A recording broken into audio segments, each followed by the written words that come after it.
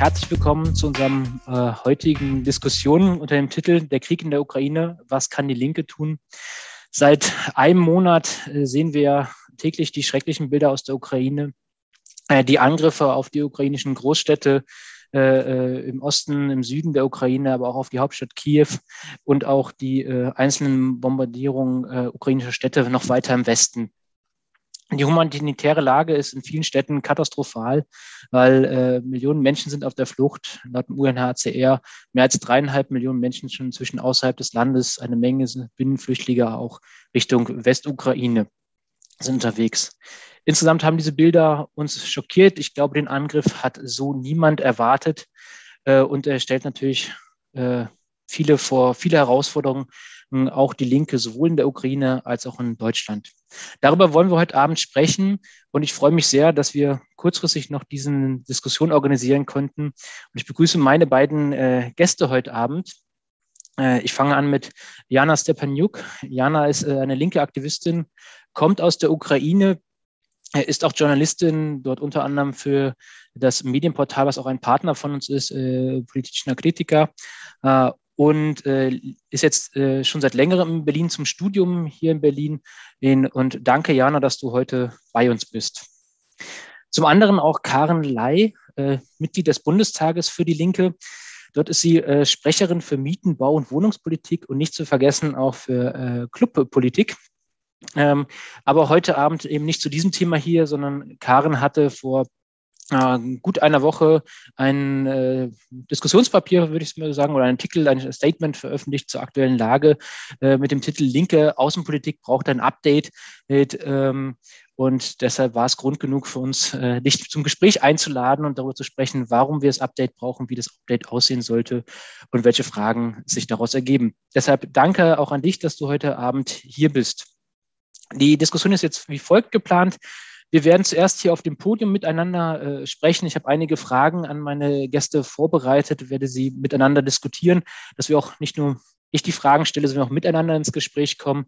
Und dann ungefähr in der zweiten Hälfte der Diskussion, wir haben anderthalb Stunden geplant, werden wir dann die Fragen fürs Publikum öffnen. Ich bitte dafür, die Fragen und An, äh, Antworten oder äh, äh, sozusagen Funktion zu wählen, nicht dem Chat. Dort gehen dann die Fragen unter. Bei Fragen und Antworten bleiben sie sichtbar und ich werde dann die Fragen äh, vorlesen. Das hat den Hintergrund, dass wir die Veranstaltung aufzeichnen äh, und wir sonst von jedem, jeder Fragestellerin, jedem Fragensteller die Einverständnis einholen müssten und mit dem Schriftlichen können wir das umgehen. Deshalb äh, bitte ich zu entschuldigen, dass heute nur schriftliche Fragen möglich sind. Aber ich freue mich trotzdem auf die spannende Diskussion und äh, zu diesem doch äh, recht betrüblichen Thema, ja, äh, was uns eben jetzt seit einem Monat sehr stark beschäftigt. Ich würde mit der ersten Frage an dich, äh, Jana, anfangen. Ähm, der Krieg ist ja nicht neu. Der Krieg in der Ukraine ist ja schon, geht ja schon seit über acht Jahren. Meine Frage war, wäre an dich die erste Frage, wie denn die Position der ukrainischen Linken 2014 war, also nach der Annexion der Krim und dem militärischen Eingreifen Russlands zur Unterstützung der Separatistenrepubliken der Ostukraine. Und vielleicht auch mit einer zweiten Frage verbunden, hattest du persönlich auch Hoffnung, äh, dass mit der Wahl Zelenskis äh, zum ukrainischen Präsidenten 2019, der unter anderem mit der Forderung angeht und mit dem Versprechen angetreten ist, für Frieden auch mit neuen Verhandlungen, durch neue Verhandlungen mit Russland zu sorgen, äh, ähm, angetreten ist, hast du auch mit ihm Hoffnung verbunden, dass es dazu kommen könnte? Ähm, ja, äh, das ist eine große Frage, die schwierig zu beantworten ist in diesem kurzen Format. Man soll auch ähm, klar machen, dass die Situation in der Ukraine zwischen 2014 und äh, bevor dem, vor dem Anfang des Krieges und jetzt ist sehr unterschiedliche Situation in der Gesellschaft generell, aber auch was die Linke betrifft. Und der Angriff Putins hat die, der Stand der Debatten komplett verändert. Deshalb, man kann natürlich kurzer Exkurs machen, aber das ist ein ganz anderes Thema und jetzt unterscheidet das sehr davon, was wir jetzt haben. Äh, aber im 2014 haben die Linken unterschiedlich reagiert in der Ukraine. Äh, und das ist auch schwierig jetzt gut zu fassen. Ähm, es gab manche Teile der Linken, die eher pro-russisch war und dann das Ganze vielleicht unterstützt haben oder irgendwie nicht dagegen gewahrt haben. Trotzdem die große Mehrheit war, hat beurteilt, also verurteilt die Annexion des Krims und äh, Unterstützung von Separatisten in Donbass. Und die Diskussionen lagen eher äh, darüber, ob man, wie man genau vorgeht. Äh, versucht man militärisch zu gewinnen weiter, äh, macht man eher Diplomatie und äh, wie genau und so weiter. Das war Stand der Diskussion. Äh, und das, aber jetzt ist die Situation ganz anders und wir werden später darüber noch sprechen. Was Zelensky betrifft, äh, ja, das war sein ursprüngliches Programm, also für Frieden zu kämpfen äh, und äh, irgendwie zu lavieren zwischen diesen zwei äh, Richtungen, pro-russisch, pro-westlich und äh, Lösungen zu finden, die für die Mehrheit der Bevölkerung okay waren. Aber dann hat man auch gesehen, dass das äh, nach 2019 ziemlich stark sich auch verändert hat und dass die äh, Minsk-Abkommen, diese ganzen Prozesse in eine Sackgasse gelaufen sind und dass es nicht wirklich weiterging und äh, es äh, dann irgendwann schon im Sommer hat Putin seinen Artikel über die Ukraine veröffentlicht und äh, es gab schon in 2021 davor die militärische Eskalation äh, an der Grenze und schon einige Zeit. Deshalb war das relativ klar, dass das jetzt nicht mehr in diese Richtung geht und diese Hoffnungen äh, von Putin auch, ich glaube, Putin hat auch selber erwartet, dass es vielleicht irgendwie geht, äh, dass das nicht zustande kommt. Danke, Jana. Karen, die nächste Frage ist an dich. Ähm, viele Linke, also viele, vor allem auch Linke in Deutschland hatten ja den Angriff bis zuletzt nicht für möglich gehalten. Da muss ich auch sagen, äh, sozusagen, ich selber hatte keine Illusion, dass äh, Putin da verscheut, militärisch einzugreifen, aber diese Art von Angriff hatte ich persönlich auch nicht für möglich gehalten. Andere wiederum, Linke hatten ja auch noch wenige Tage vor dem Angriff äh, postuliert, dass Russland überhaupt kein Interesse an einem Krieg habe. Du hast dich ja in deinem Artikel auch ein bisschen damit beschäftigt, äh, wie es überhaupt dazu sehr viel Einschätzung bei manchen Teilen der Linken kommen konnte. Äh, und das war auch die Frage, hingen wirklich alle Linken dieser Fehleinschätzung an? Dann, oder war das vielleicht auch nur ein öffentliches Zerrbild der Linken? Äh, was war eigentlich die Analyse der Linken oder wie würdest du nochmal retroperspektiv die Position der Linken äh, zum Ukraine-Konflikt seit 2014 äh, bewerten? Vielen Dank. Äh, vielen Dank erstmal äh, für die Einladung. Äh, vielen Dank für die Veranstaltung. Vielen Dank für die Möglichkeit, ähm, hier zu sprechen und will mich generell bei der Stiftung bedanken. Ich finde das, was die Stiftung jetzt auch an Debattenbeiträgen dazu erstellt hat und im Angebot hat, ähm, sehr, sehr gut und ein Teil der kritischen Diskussion, die wir als Linke führen müssen. Ja, ich glaube, wir sind äh, die meisten von uns einem großen Irrtum ähm, unterlegen. Da würde ich auch selbstkritisch mich selber einschließen und äh, kenne auch eigentlich fast niemanden in der Linken, der sehr, sehr früh schon gesagt hat, wir müssen das jetzt die reale Kriegsgefahr ernst nehmen. Also da hat es äh, in der Vergangenheit viele Fehler gegeben. Gleichwohl gibt es unterschiedliche Nuancen, die auch äh, relevant sind. Da würde ich äh, vielleicht gleich nochmal drauf zu sprechen kommen. Aber ich denke, es ist einmal klar, dass es viel aufzuarbeiten gibt.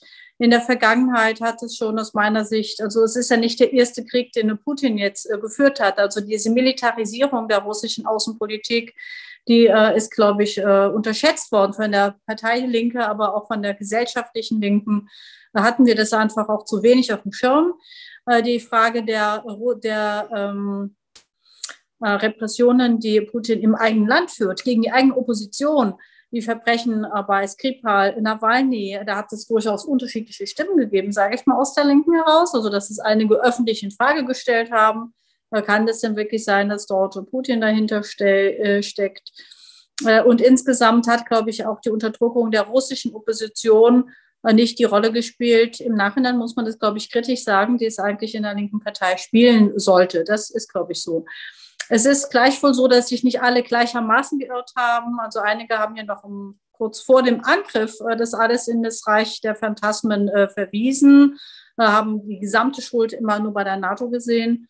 Und äh, andere, und dazu darf ich mich dann schon zählen, haben dann doch irgendwann gesagt, naja, also der meint es schon ernst, wenn er die gesamte Ukraine umstellt hat, äh, kann man das jetzt nicht mehr sagen, ähm, die Russen wollen sicherlich keinen Krieg haben. Und deswegen sind ja einige von äh, Mitglieder der Partei Die Linke dann auch schon, bevor der Angriff kam, vor die russische Botschaft äh, gezogen. Dort hat es dann die erste quasi Friedensdemo, kleine gegeben, noch bevor der brutale Überfall stattgefunden hat. Ich kann nur rückblickend sagen, dass wir, die wir die russische Politik schon seit einer Weile kritisch sehen, nicht laut genug waren innerhalb der Linken. Und das muss sich, glaube ich, ändern. Diejenigen, die allerdings bis zuletzt das eigentlich in das Reich der Phantasmen äh, gestellt haben, müssen sich natürlich schon auch fragen lassen, warum sie sich so krass getäuscht haben und äh, was dahinter steht. Vielleicht drei kurze Argumente oder drei äh, Gründe vielleicht. Das eine ist natürlich, es, äh, wir haben natürlich als deutsche Linke ein kritisches Verhältnis zur NATO. Es gibt auch, glaube ich, an der Vergangenheit der NATO wenig zu beschönigen. Also das äh, würde ich auch jederzeit äh, unterschreiben. Ähm, ich glaube, dass aber bei einigen zumindest äh, diese, das hat aber den Blick davor verstellt, dass eben auch andere imperiale Interessen haben. Und dass Putin auch selbst imperiale Interessen hat und ich glaube jetzt nicht nur Opfer der äh, in der Tat falschen NATO-Politik ist, das hat er ja gezeigt. Also ich glaube, niemand hat auch damit gerechnet, so einen brutalen Angriff auf ein Nachbarland, ein souveränes Nachbarland zu machen. Ich meine, das ist ja auch wirklich so ein Kriegsverbrechen. Naja, sorry, auf so eine Idee äh, zu kommen, das ist, glaube ich, schon, diese Unmenschlichkeit hat den Blick verstellt. Unsere Opposition, berechtigte Opposition zur NATO hat uns äh, verkennen lassen, dass eben auch andere, eben auch Putin imperiale Interessen verfolgt. Und er stellt sich ja auch in seiner Rede, die er dann gehalten hat, klar in eine zaristische Tradition von Russland. Und er sagt ja im Grunde, dass ihm die Ukraine gehört. Also er spricht ja eigentlich der Ukraine jede Souveränität, jedes Existenzrecht ab. Und äh, das ist, glaube ich, also diese, dass wir diesen äh, russischen Imperialismus nicht, äh, dass der nicht klar genug gesehen wurde. Ich glaube aber schon, dass es beim Teil der Linken auch so eine Haltung gibt, der Feind meines Feindes ist äh, mein Freund, äh, ja, oder dass man sozusagen sagt, naja, wenn die Russen auch gegen die NATO sind, dann sind es, ne, dann fährt das ein bisschen den Blick auch davor verstellt, was tatsächlich in der russischen Politik auch falsch läuft. Und ähm, das spielt äh, sicherlich eine Rolle und bei wenigen vielleicht auch eine anti-amerikanische Haltung. Das gibt es auch in der Linken, da müssen wir auch nicht äh, drum rumreden, das ist so.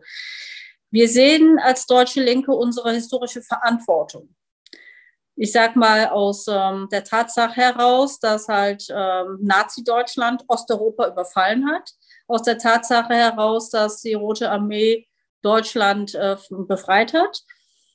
Das ist lang so interpretiert worden, dass uns das eine besondere Verantwortung gegenüber Russland sozusagen bedeutet. Und ich würde sagen, die ist da, aber die haben wir gegenüber jedem anderen osteuropäischen äh, Land, das äh, von Nazi-Deutschland überfallen wurde und wo eben Menschen auch im Widerstand gekämpft haben, in der Roten Armee gekämpft haben. Das schließt ja die Ukraine ein zum Beispiel. Also ich glaube jetzt mal, ähm, da sind also wirklich, ich glaube, da liegen die großen äh, Fehler, auch die ideologischen Fehler, die dort gemacht wurden. Also zum Teil natürlich auch bei der älteren Generation von Genossinnen und Genossen auch eine also große Freundschaft gegenüber ich sage jetzt mal bei vielen der Sowjetunion. Und dann hat man eben verkannt, dass natürlich, was Putin dort macht, überhaupt nichts mehr mit linken Grundsätzen zu tun hat, sondern dass es ein ziemlich repressiver, kapitalistischer Staat ist mit einer starken, reichen Oligarchie, mit einer Verarmung des Landes. Aber ich glaube, diese historische Freundschaft spielt bei der älteren Generation häufig noch eine Rolle. Und äh, bei vielen auch Westlinken, sage ich mal, so ein Anti-Imperialismus, ich sage jetzt mal alten Schlags, der, äh, glaube ich, jetzt äh, ja nicht mehr zeitgemäß ist und wie ich formuliert habe, ein Update braucht. Und zu diesem Update gehört in jedem Fall, dass wir ähm, den ukrainischen Linken und überhaupt den Linken auch in anderen osteuropäischen Ländern mehr zuhören. Das hat ja Ivo Georgiev, der für die Rosa-Luxemburg-Stiftung das Video gedreht hat, als eben mal oder als Leiter ja des Kiewer Büros, gesagt, dass wir zu wenig zugehört haben, zu wenig Glauben geschenkt haben.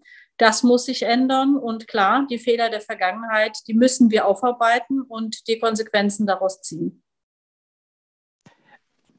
Danke, Karen. Ich würde auch direkt sozusagen die Frage an Jana äh, weiterspielen. Karen hat ja gerade einige äh, aus Ihrer Sicht Fehler der Linken in Deutschland in den letzten Jahren beschrieben. Wie wurde das äh, sozusagen das Verhalten der deutschen Linken von Linken in der Ukraine oder ukrainischen Linken äh, wahrgenommen? Könntest du dazu vielleicht noch kurz was sagen?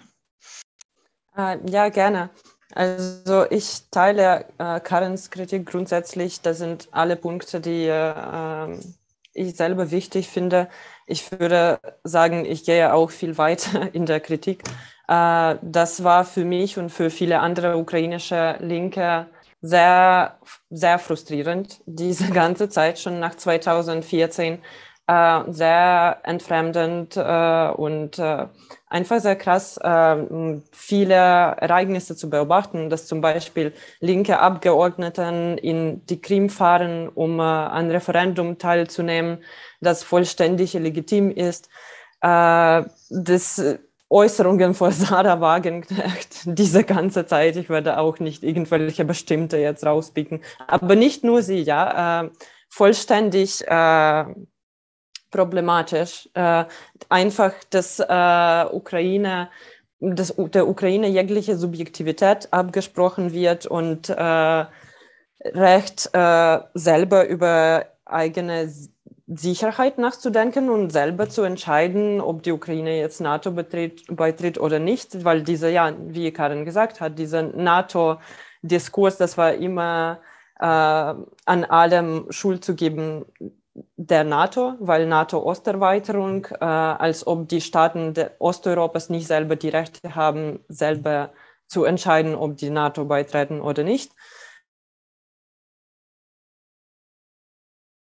Auch, auch, seit dem Anfang des Krieges die ganze Zeit diese NATO-Erzählungen über westliches Imperialismus zu äh, lesen, war für mich äh, sehr, sehr frustrierend. Und ich finde dieser Punkt über historische Verantwortung Deutschlands gegenüber Ländern Osteuropas sehr gut, was Karin sagte, aber ich würde das auch äh, erweitern und äh, radikaler sagen, dass äh, das stimmt, dass in Deutschland das immer nur als historische Verantwortung gegenüber Russlands verstanden ist, was ich nie verstehen konnte. Äh, und das muss nicht nur andere osteuropäische Länder mit einschließen, Ukraine ist nicht nur ein anderes osteuropäisches Land. Also Zweiter Weltkrieg, also die Großteil von äh, Handlungen, Kriegshandlungen war auf dem ukrainischen Boden. Ukrainische Opfer waren ein Drittel von allem Opfer. Äh, riesigen Teil von Roter Armee waren Ukrainer. Äh, es es gab Millionen Zwangsarbeiter, die aus der Ukraine weggeschleppt wurden. Ukraine ist nicht nur ein Land, von mehreren Osteuropa-Ländern, dem gegenüber Deutschland auch die Verantwortung wahrnehmen soll. Ukraine hat schon sehr viel, sehr wichtige Rolle gespielt und sehr gelitten im Zweiten Weltkrieg. Und das müssen, müssen die Deutsche und muss die deutsche Linke sich auch klar machen, dass Sowjetunion, Rote Armee nicht gleich Russland sind und Rolle der Ukraine sehr wichtig war. Deshalb muss das dafür jetzt äh, genutzt werden, wirklich solidarisch mit der Ukraine zu sein, aus dem, diesem historischen Hintergrund und für die Sicherheit und Wohlstand in der Ukraine weiterzukämpfen.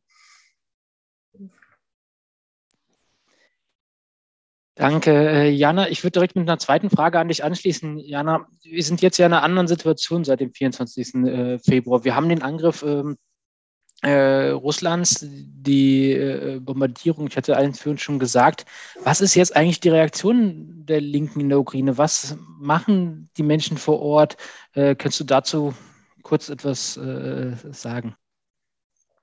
Ähm, ja, ähm, also wie gesagt, nach 2014 gab es noch mehr Diskussionen und irgendwelche typische linke Spaltungen in Reihen der ukrainischen Linken. Jetzt ist es nicht mehr so. Ähm, Anfang des Krieges, russischer Einmarsch in der Ukraine hat klargestellt, worum es geht und auch die ganze Zeit ging, äh, um russische Aggression und die ukrainische Linke hat das verurteilt das und kämpft äh, aktiv dagegen.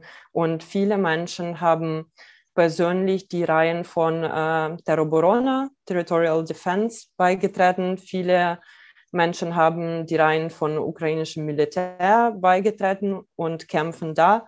Äh, viele äh, in der Ukraine wie auch im Ausland kümmern sich um die humanitäre Hilfe äh, und engagieren sich da. Also auch gewerkschaftliche Aktivisten, ähm, unterschiedliche linke Organisationen, äh, viel, also auf Organisationsebene wie auch individuell äh, geht es darum, wie so weit wie möglich äh, dafür zu sorgen, dass Ukraine gewinnt.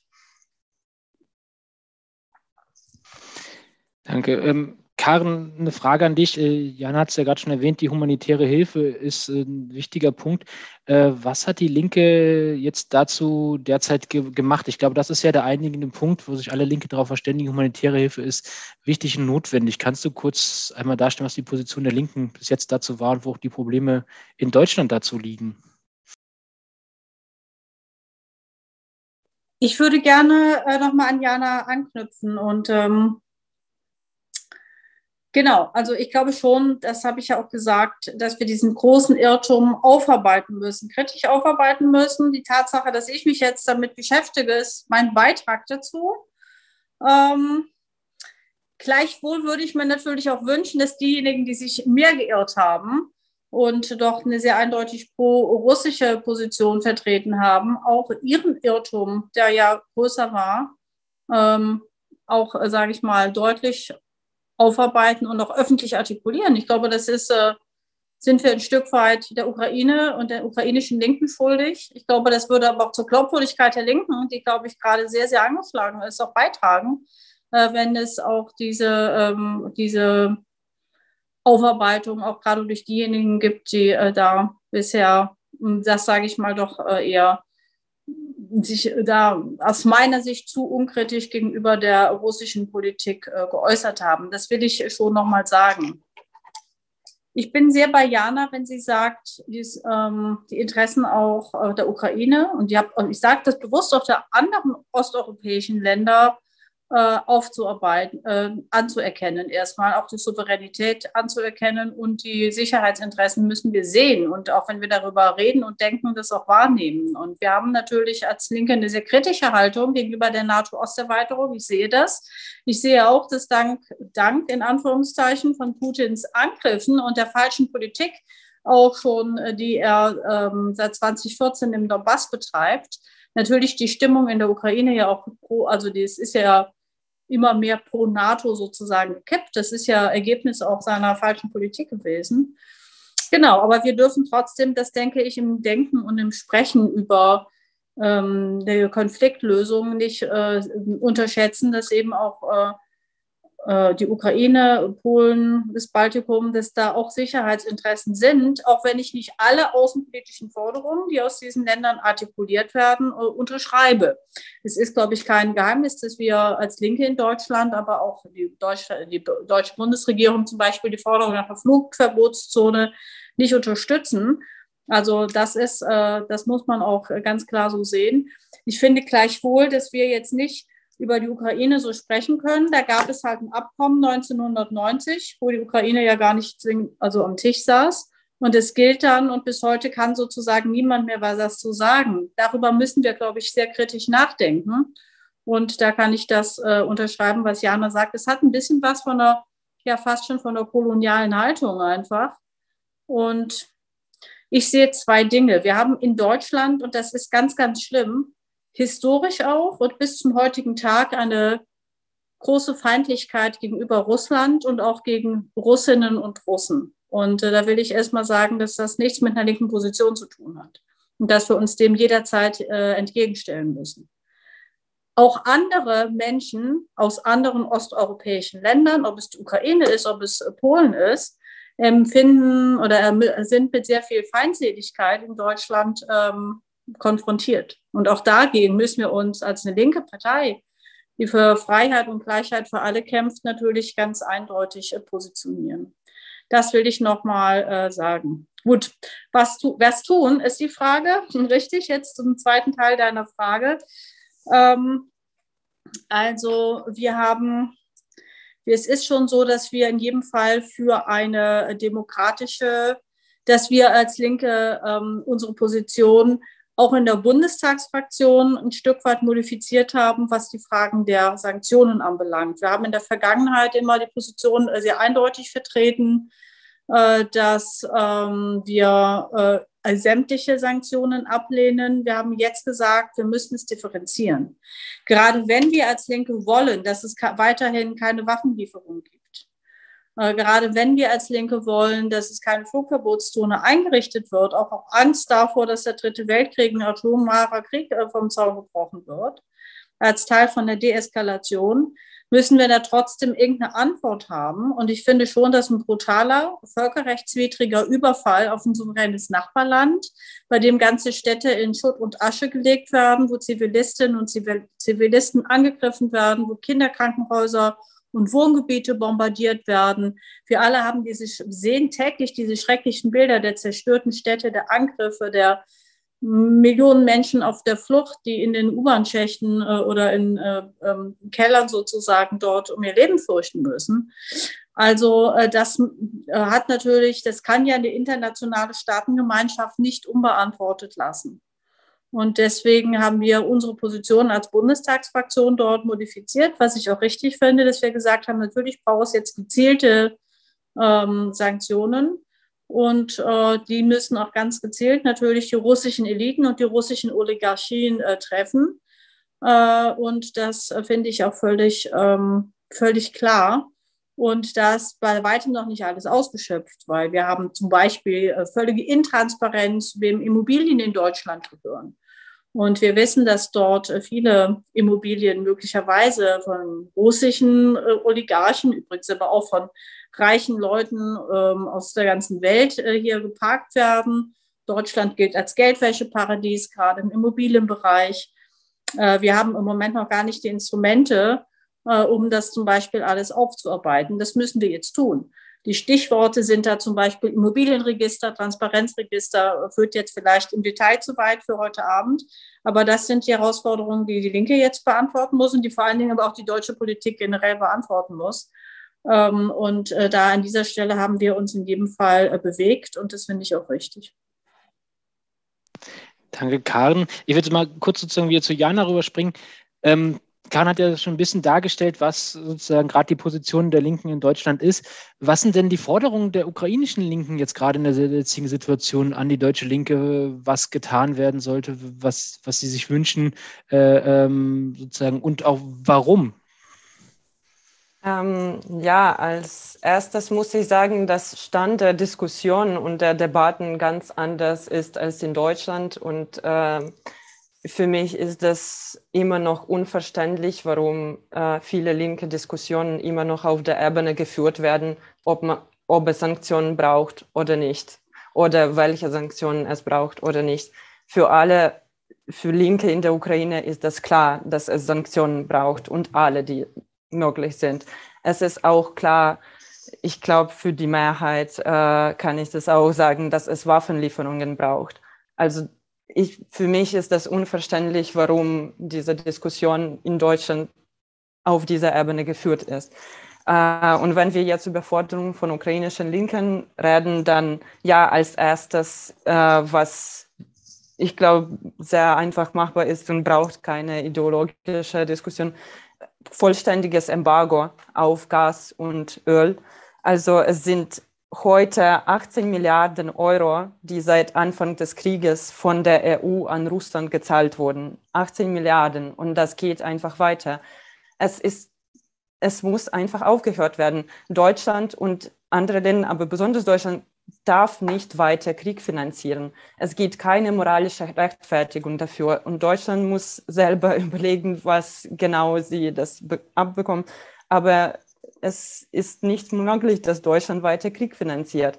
Ähm, Welthäfen äh, für russische Ware zu schließen, ähm, Versand und Empfang von russischen Waren auch einstellen, äh, Banksanktionen weiter äh, ohne Ausnahmen vollständig alle russischen Banken von SWIFT auszuschließen und jegliches Austausch zu unterbinden.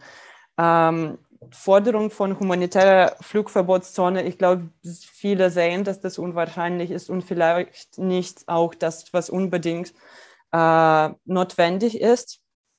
aber da muss man auch auf andere Weise, kann man auch sehr effektiv Ukraine unterstützen. Äh, wie gesagt, Waffenlieferungen. Ukraine muss weiter militärisch kämpfen. Das war nicht die Entscheidung der Ukraine, diesen Krieg anzufangen. Ukraine führt ein legitimes Verteidigungskrieg und dafür, dass der effizient und gut weiter irgendwie läuft und Ukraine nicht gestern, nicht morgen von Russland okkupiert ist und zerteilt und äh, so weiter. Dafür braucht Ukraine Waffen. Und äh, ich verstehe nicht auch, warum äh, diese Frage bei der Linken so eine Ablehnung, Haltung äh, auslöst. Äh, und es gibt auch viele andere Sachen, wo ich glaube, auch die deutschen Linken sehen das ein. Also ja, Sanktionen gegen Oligarchen, äh, Eigentum und Konten einfrieren und für ukrainische Bedürfnisse nutzen, für Flüchtlinge oder für Wiederaufbau oder für was noch immer. Ähm, es gibt auch sehr wichtige Forderungen, die spezifisch so von ukrainischen Linken vertreten ist. Das ist Staatsschulden der Ukraine zu tilgen. Und ich glaube, da kann auch deutsche Linke sich sehr unproblematisch einschließen, anschließen. Ähm, die äh, betreffen ja, die sind jetzt mehr als eine Milliarde Euro, die ukrainische äh, Staatsschulden. Und nur im Jahr 2022 muss Ukraine 6,2 äh, Milliarden Euro äh, oder Dollars, äh, Dollars ähm, für Schuldenbedingungen auszahlen. Und die meisten Schulden sind von, für International äh, Monetary Fund und Weltbank. Und 6,2 Milliarden äh, Dollars ist große Summe. Ja, das ist mehr als ukrainisches Militärbudget für 2021. Da sind Millionen von Jahresrenten, ja, äh, und Ukraine braucht dringend dieses Geld.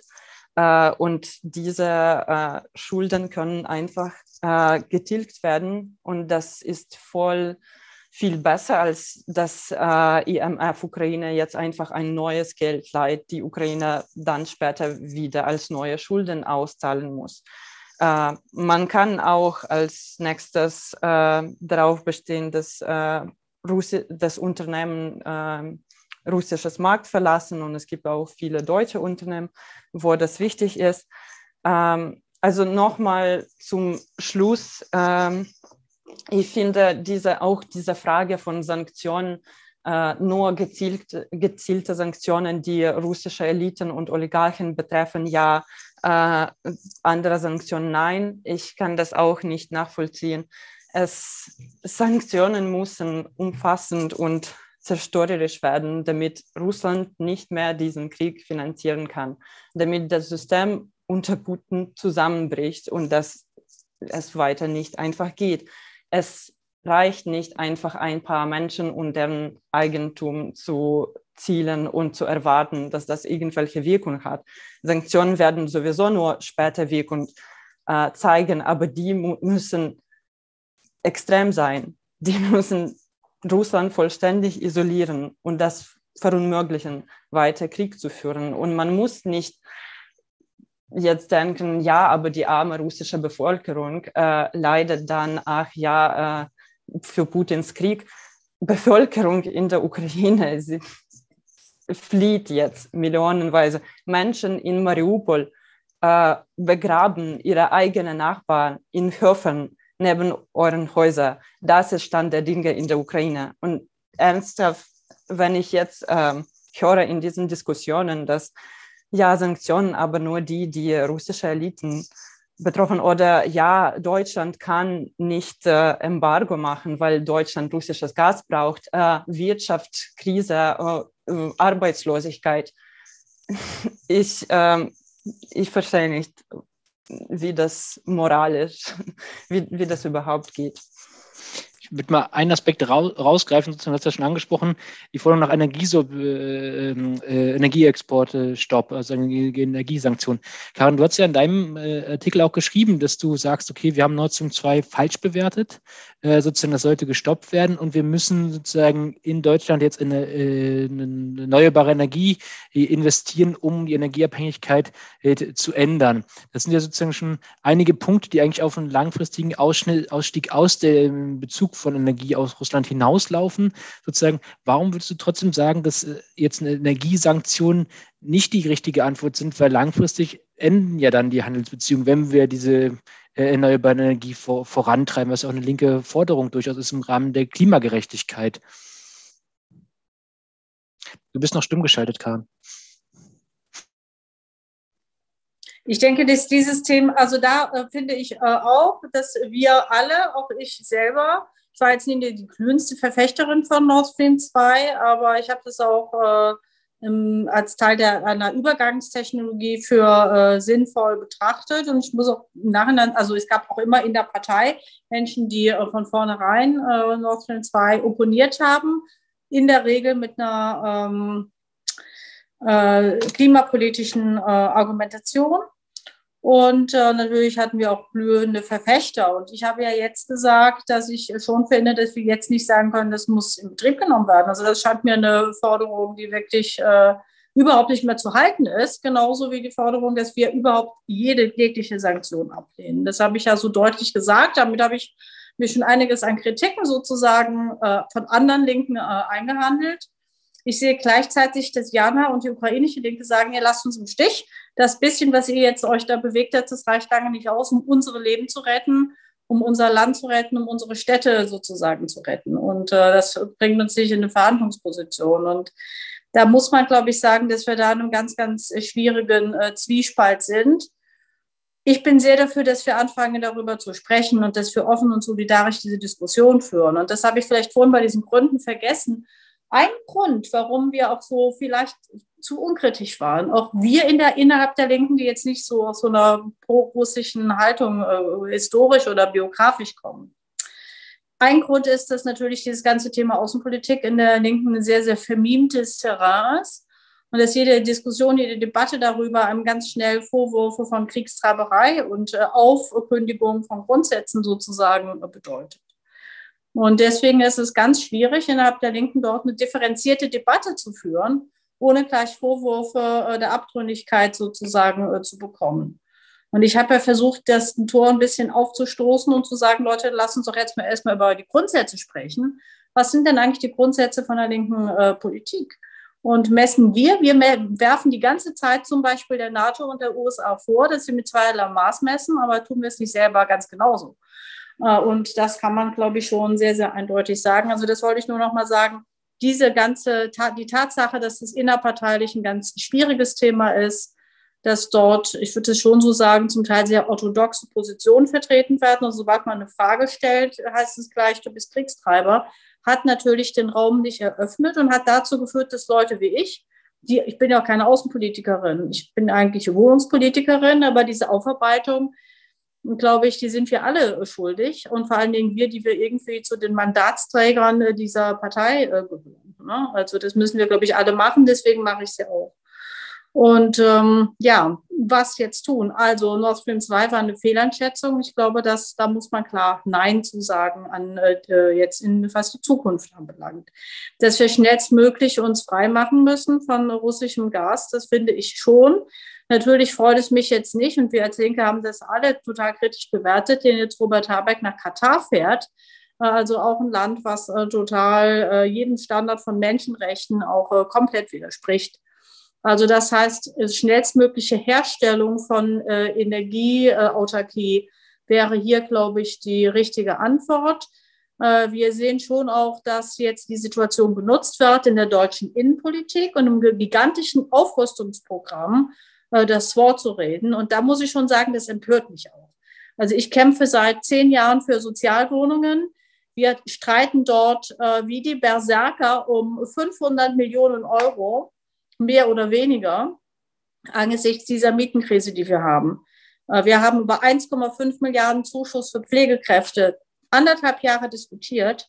Und über Nacht stellt sich unser Bundeskanzler hin und sagt ja jetzt 100 äh, Milliarden Sondervermögen für die Bundeswehr ins Grundgesetz reinschreiben und dann ist das Geld plötzlich da. Also das empört mich zutiefst, das empört die Linke, da sind wir uns auch wirklich einig. Es gibt jetzt einen Aufruf, den ich auch gut finde, den auch viele Menschen aus der Gesellschaft äh, gestellt haben. Also das will ich schon sagen. Man darf das jetzt nicht nutzen, um im Aufrüstung das Wort zu reden oder irgendwie, sage ich mal, den, wie, wie es früher so schön hieß, den militärisch-industriellen Komplex sozusagen zu füttern. Und die Aktie von Rheinmetall ist krass nach oben gegangen. Ich finde es total spannend und das leuchtet mir jetzt ein. Wie gesagt, ich bin jetzt nicht die außenpolitische Expertin, aber das würde ich in jedem Fall mitnehmen, was du, Jana, gesagt hast, dass man doch eher über einen Schuldenschnitt äh, beispielsweise für, für die Ukraine sprechen sollte. Das ist eine Position, die wir beispielsweise ja auch bei anderen, äh, ging es jetzt nicht um Kriegssituationen, aber um Krisensituationen, was beispielsweise Griechenland anbelangt, was wir dort auch gefordert haben. Also ich glaube, das ist eine Forderung, die wir äh, gut ähm, formulieren können, ohne dass wir unsere pazifistischen und auch antimilitaristischen äh, Grundsätze dort äh, äh aufgeben. Also da wäre ich in jedem Fall äh, sehr, sehr äh, offen für diese Argumentation ja, was sind unsere Argumente zu einem Nein zu Waffenlieferungen? Dass jede Waffe ihren Krieg findet, dass es auch Deutschland war, die die russische Armee äh, aufgerüstet hat in den letzten Jahren. Viele von uns, und dazu zähle ich mich auch, finden es falsch, dass Deutschland als ein Land, was zwei Weltkriege vom Zaun gebrochen hat, zum drittgrößten Waffenexporteur der Welt gehört. Das ist äh, auch natürlich aus unserer Geschichte heraus problematisch. Das sind natürlich alles die Gründe, die uns äh, dazu führen. Es gibt ja auch die Stiftung, hat dazu Argumentationen. Auch Jan van Aken hat da zum Beispiel sehr differenzierte Papiere verfasst, die ich auch mich ein Stück weit überzeugt haben. Ich will allerdings auch sagen, es gibt auch Linke, die sagen, wir müssen jetzt darüber, darüber nachdenken, wie jetzt, was ein Land eigentlich, wir sagen ja schon als Linke, ein Land darf sich selbst verteidigen. Und ich weiß, dass es eine Leerstelle ist als Linke, was eigentlich passiert, wenn ein souveränes Land überfallen wird und wie dann diese Selbstverteidigung auch aussehen kann. Also das ist tatsächlich eine Leerstelle, die wir als Linke dort äh, haben. Das muss man so klar sehen. Und unsere Parteivorsitzende Susanne Heldnig-Welso hat ja auch die Fragen aufgeschrieben, die wir jetzt diskutieren müssen. Und genau diese Frage gehört eben dazu, was wir in äh, Zukunft tun, äh, wenn oder was wir einem souveränen Land auch zubilligen an Selbstverteidigungsrechten. Und das müssen wir jetzt in Zukunft äh, solidarisch diskutieren. Jana, ich habe sehr viel Nicken bei dir gesehen. Wolltest du noch mal äh, darauf antworten? Äh, sonst würde ich jetzt gleich, dann, dann würde ich dir nochmal die Chance geben zu antworten und dann gleich mal mich durch die Fragen durcharbeiten. Es sind doch einige äh, aufgelaufen, dass wir es gleich nochmal öffnen. Ähm, ja, Nicken war ähm, Okay, ich habe schon vergessen, wo zu linken war. Ähm, ja, ich wollte äh, eigentlich, was ähm, ich spannend finde schon die ganze Zeit in der Diskussion, ist äh, diese pazifistische und antimilitaristische äh, Grundsätze der Linken, äh, was ich nicht immer verstehe, weil das wäre schon sehr naive Vorstellung von Pazifismus, dass Pazifismus einfach ist, äh, keine Waffen, äh, keine Gewalt. Ja, was, ah, dazu habe ich genickt, ja, äh, Selbstverteidigung, was machen wir damit? Sollen Ukraine einfach sagen, ah ja, wir sind für Frieden. Das heißt, wir kapitulieren jetzt, wir lassen Russland Menschen zu repressieren, wie das jetzt in Russland geht, vollständige Gewalt und so weiter, weil Waffen schlimm sind und oder ich glaube, das, das wäre ein bisschen absurd. Und das ist klar, dass für Selbstverteidigung, worauf Ukraine völliges Recht hat und ukrainisches Volk, man auch Waffen braucht. Und man darf natürlich deutsche Waffenexporte sehr viel kritisieren zu anderen Gebieten und so. Ich bin da keine Experten. Äh, da kann man ja, ich finde das auch kritikwürdig, aber das ist schon ein ganz anderes Fall.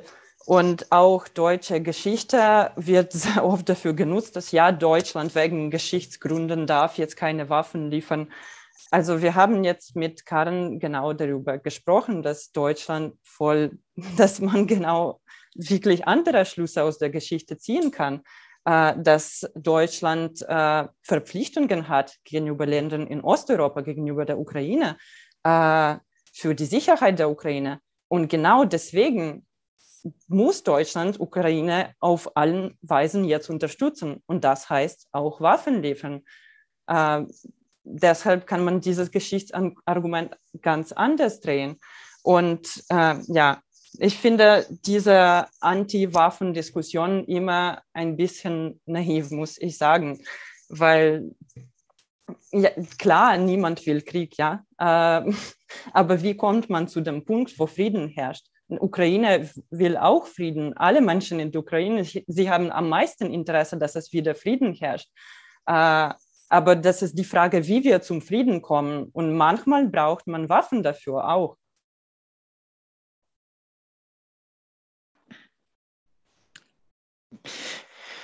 Ich, ich, glaube, wir sind uns ja alle einig, dass wir sozusagen den Frieden in der Ukraine wollen, das gleiche ich jetzt einfach beim Podium voraus, sozusagen. Äh, wäre nochmal die Frage an dich, äh, Karen, sozusagen. Hm, ich glaube ja sozusagen, de, de, de, dein Argument äh, soll nicht so verstanden, wenn du sagst, die Ukraine soll sich ergeben oder sonst was, so hatte ich dich gar nicht verstanden, sondern was könnte jetzt Deutschland noch tun, um sozusagen außer der Waffenlieferung vielleicht auch auf diplomatischem Gebiet jetzt sozusagen versuchen, nochmal die, die, die Deeskalation oder zumindest einen Waffenstillstand äh, voranzutreiben. Das wäre sozusagen meine Frage noch an dich und danach würde ich mal gucken, was in der Diskussion schon für Fragen reingekommen sind. Nee, so, das habe ich auch nicht gesagt. Ähm, Im Gegenteil, also so, dass äh, diese Position gibt es innerhalb äh, der Linken natürlich, dass es quasi die Ukraine komplett sofort kapitulieren soll.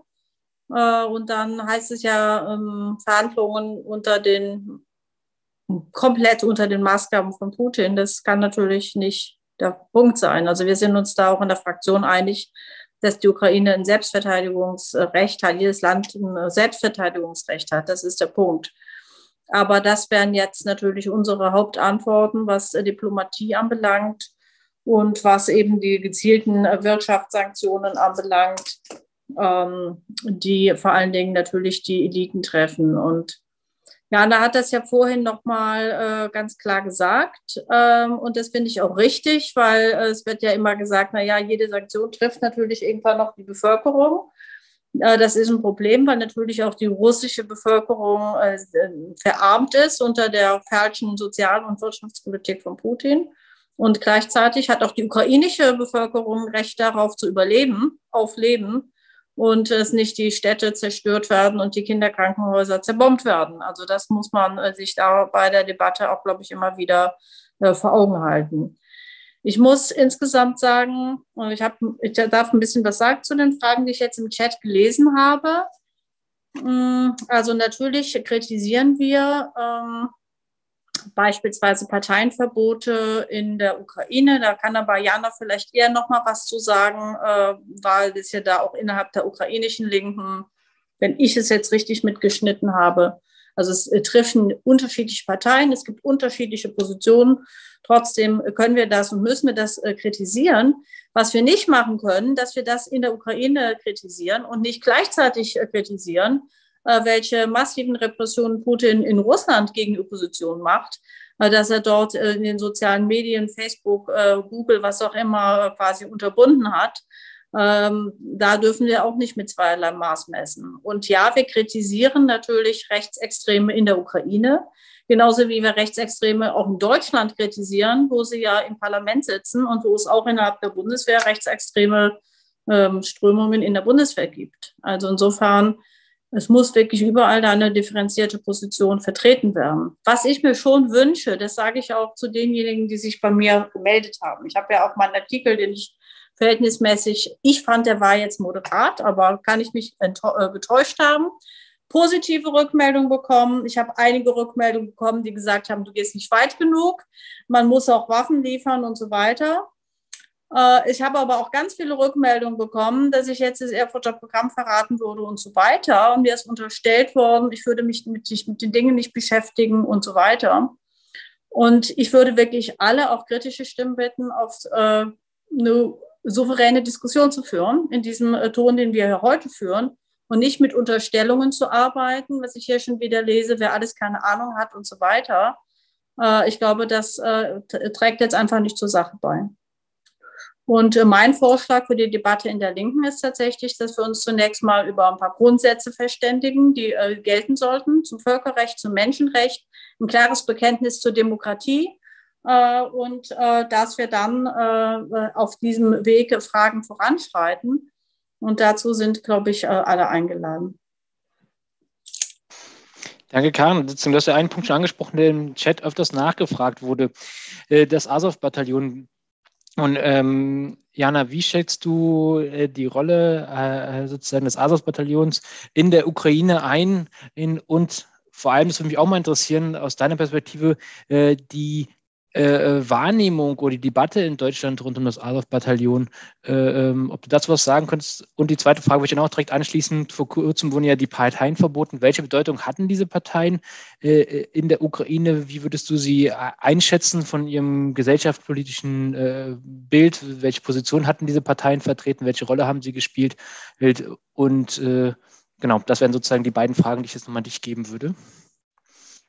Ich kann zur Frage der Parteiverbote leider jetzt nicht viel sagen, weil ich da nicht so gut informiert bin, äh, weil das relativ neu ist. Deshalb, äh, ja, natürlich nicht gut, aber mehr kann ich nicht sagen dazu. Aber Frage mit äh, Azov-Bataillon, ja, du legst äh, Finger in die Wunde, ähm, weil das immer wieder das Thema ist in Deutschland und auch im Ausland, natürlich auch in der Ukraine. Und ja, Azov-Bataillon vollständig problematisch, darf nicht existieren. Das ist keine Frage für ukrainische Linke auch. Natürlich, ukrainische Linke sind auch die, die das die ganze Zeit kritisiert haben, die äh, rechte Gewalt in der Ukraine auch kritisiert haben, äh, so weiter, weil wir sind auch die, die von dieser Gewalt auch leiden, ja, äh, auf der Straße und so weiter, queere Menschen, äh, linke Menschen, so weiter. Äh, wir haben das die ganze Zeit kritisiert. Ähm, was wichtig ist, äh, in Deutschland, das, ähm, ich finde immer, das gerät ein bisschen aus der Proportion welche Rolle Azov und die Rechten in der Ukraine spielen. Es wird immer nur über Azov gesprochen, über Rechten in der Ukraine, nie über Rechten in Russland. Und jetzt aber Russland ist ein Land, was neofaschistisches Krieg angefangen hat und nicht die Ukraine. Und wahrscheinlich sind russische Rechte doch ein bisschen gefährlicher und einflussreicher als die Rechte in der Ukraine. Wie Karin auch gesagt hat, Deutschland ist das Land, wo Rechte im Parlament sitzen nicht die Ukraine. Ähm, deshalb, ja, es gibt natürlich Fälle, es gibt Probleme, äh, also und so weiter. Ähm, das muss man aber gut einschätzen, welcher Einfluss das auf, wie repräsentativ ist das, ja? Steht das für die ganze ukrainische Bevölkerung? Äh, nein. Sind alle anderen ukrainischen Militärstrukturen äh, rechts? Nein. Äh, es gibt jetzt, wie gesagt, viele Linke, die in ukrainischen Militär sind, in Territorial Defense und so weiter. Das, ich finde, das ist einfach ähm, schade, dass dieses ähm, Element von russisches, russischer Propaganda in Deutschland so erfolgreich ist, äh, dass Ukraine in der Tat immer wieder als einfach Nazi-Land wahrgenommen ist. Und äh, wenn man irgendwelche, wenn wir sprechen, dann sind wir auch irgendwie Nazis und äh, haben keine Ahnung und rechts und, und so weiter. Äh, man muss da viel, viel aufmerksamer sein und nicht übertreiben und nicht disproportional quasi das alles einschätzen. Danke, Jana. Karen, du bist noch was. Genau, ich würde sozusagen jetzt direkt an, anknüpfen. Wir haben ja das äh, Phänomen des ukrainischen Botschafters äh, Andrei Melnik, der auch so zu den letzten Tagen äh, äh sich in Online-Debatten mit äh, ehemaligen Bundestagsabgeordneten der Linken verwickelt hat. Ich weiß nicht, ob du es mitgekriegt hattest. Fabio De Masi hatte da ja eine Debatte äh, mit ihm und Melnik hat ihm, äh, hat eigentlich der Linken dann sozusagen eine Mitschuld äh, äh, sozusagen am russischen Agieren vorgeworfen. Du bist ja selber sehr, sehr kritisch sozusagen eigentlich unsere vergangene Position. Und, aber was würdest du darauf äh, äh antworten auf so eine Position, die der Linken eine Mitsch oder sozusagen zumindest eine Verantwortung für den russischen Angriff zuspricht? Ich habe äh, ich hab so am Rande mit, äh, nur mitbekommen, äh, muss ich sagen. Aber ich hab, fand jetzt schon das Statement von Melnik äh, auch, dass er sich da total im Ton vergriffen hat. Äh, und auch, äh, es bringt halt nicht weiter, dass man dort die rechten Umtriebe ähm, auch im äh, ukrainischen Militär dort kleinredet und sagt, das findet gar nicht statt. Man muss es kritisieren. Also zum Beispiel unsere Bundestagsfraktion Martina Renner hat es ja auch äh, klar immer wieder darauf hingewiesen, auch dass auch aus den deutschen Nazi-Szene dort Menschen äh, rekrutiert werden. Und das kritisieren wir natürlich in jedem Land. Ähm, ich finde aber, es darf nicht politisch äh, verwendet, also so, es darf nicht falsch interpretiert werden und man muss sehr, sehr klar sein in anderen Positionen zu diesem Krieg. Und äh, wie äh, was Jana gesagt hat, dass es proportional sein muss und dass natürlich äh, wir diese zum Beispiel rechte Unterwanderung von bestimmten Bundeswehreinheiten auch haben, dass es das in ganz vielen Ländern tatsächlich gibt, was vielleicht mit der Kultur und mit der Historie von ähm, ja, äh, Militär vielleicht auch zu tun hat. Also es darf nicht aus dem Verhältnis raten äh, trotzdem. Und deswegen habe ich das nicht unterstützt, was Melnik dort äh, gemacht hat, auch wenn wir ihm im Bundestag, wie auch die anderen demokratischen Fraktionen, in dem Moment als Repräsentant der Ukraine natürlich gewürdigt haben und Solidarität verpflichtet haben. Aber wie er sich dann dort jetzt konkret äh, positioniert hat, das ist, glaube ich, nicht unsere Position. Es ist tatsächlich total schade, dass wir hier zu dritt diskutieren. Äh, und äh, ich versuche immer, ihr seht das im Chat ein bisschen noch mitzulesen. Es ist aber sehr, sehr munter im Chat. Deswegen kann ich nicht auf alles eingehen. Ich habe gerade gesehen, dass Raul eingestellt hat. Ähm, dass es dort eine Positionierung oder eine Einschätzung auch zu diesen Parteienverboten äh, gegeben hat. Äh, da will ich nochmal drauf verweisen, weil alle, die jetzt uns zuhören, können, glaube ich, auch im Chat mitlesen. Und äh, da kann man sich auch nochmal äh, belesen an dieser Stelle. Ich will nochmal aus meiner Sicht Folgendes sagen. Ich glaube, das ist ein wichtiger Punkt auch, äh, weil ich, wie gesagt, den Chat so nebenher jetzt mitlese. Ich habe überhaupt nichts zurückzunehmen an NATO-Kritik. Das ist doch überhaupt nicht der Punkt, dass wir jetzt die NATO da reinwaschen und das nicht alle sehen. Der Punkt ist trotzdem nur, dass nichts diesen brutalen Angriffskrieg rechtfertigt. Das ist doch der entscheidende Punkt. Und der andere entscheidende Punkt ist, dass wir mit unserer völlig berechtigten Kritik an dem äh, Imperialismus äh, der NATO und des Westens übersehen haben, dass es auch andere Imperialismen gibt, die entstehen und dass die nicht nur eine Reaktion auf den Imperialismus der NATO sind. Das ist, glaube ich, der entscheidende Punkt. Und da weiß ich nicht, äh, dass, ob wir uns einig sind äh, mit allen, aber das ist für mich eine ganz wichtige Grundvoraussetzung in dieser moderaten Neuaufstellung unserer Außenpolitik, dass wir das sehen und anerkennen oder kritisch sehen, äh, dass es eben auch da verschiedene imperialistische Zentren und Bestrebungen gibt und dass eine linke Partei immer sich gegen Nationalismus und Imperialismus ausspricht. Und ehrlich gesagt, wer dort noch denkt, dass dort äh, Putin ein Opfer ist, der muss, sollte sich wirklich seine Rede anhören. Und da sollte sich auch seine Rede anhören, wie er beispielsweise die Sowjetunion kritisiert hat für ihre Anerkennung äh, der Rechte der Völker. Also das ist äh, wirklich, da wird einem jede Illusion genommen. Und ähm, irgendjemand sagt ja hier, ich würde die Illusion bedienen, dass die Linke pro, also Putin-Versteher waren und so. Das äh, ist, das sage ich so nicht. Ich sage, dass halt äh, viele Genossinnen und Genossen eine sehr positive Haltung gegenüber Russland haben. Die ist auch total nachvollziehbar. Und dass diese positive Haltung und die Liebe zu den Menschen und zur Kultur zu lange die Sicht darauf verstellt hat, dass Putin eine absolut reaktionäre und repressive Politik gegen die eigene Bevölkerung macht. Das ist der Punkt. Und äh, ich glaube, das ist auch die Debatte, die wir in der Partei führen müssen.